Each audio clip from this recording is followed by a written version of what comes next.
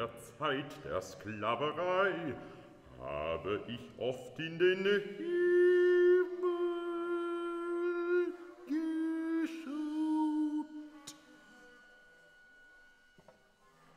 Die Farbe des Himmels gefällt mir sehr.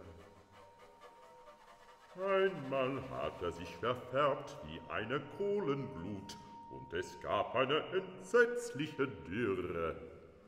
Ein anderes Mal verfinsterte sich über der ganzen Insel die Sonne mitten am Tag. Es war, als ob der Mond mit der Sonne kämpfte.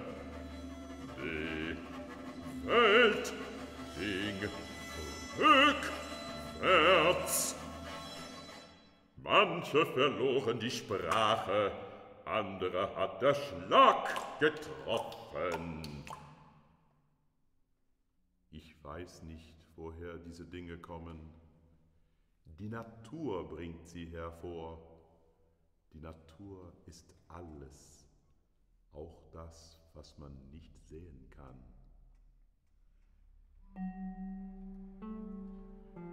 Über den Menschen sind die Götter.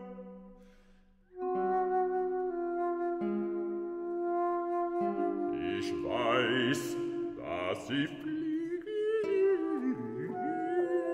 können. Alles, was zu sie Lust haben, bringen sie fertig durch Zauber. Warum haben sie nichts gegen die Sklaverei getan?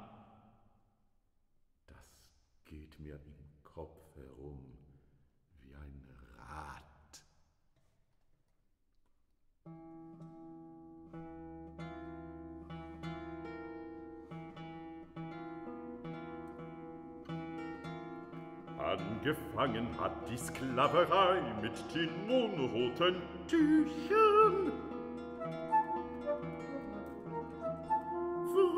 war ganz Afrika mit der alten Mauer umgeben.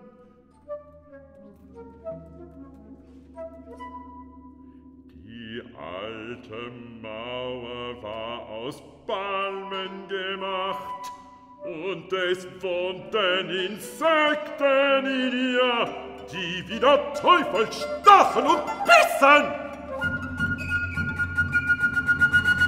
Deshalb konnten die Weißen nicht in Afrika eindringen.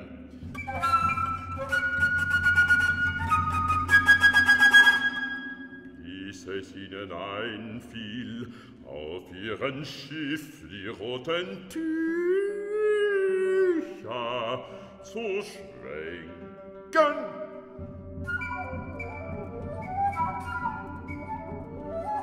Als die schwarzen Könige das sahen, riefen sie, Lauf, bring mir das rote Tuch! Und die Schwarzen liefen wie die Lämmer auf das Schiff und wurden eingeschleppt.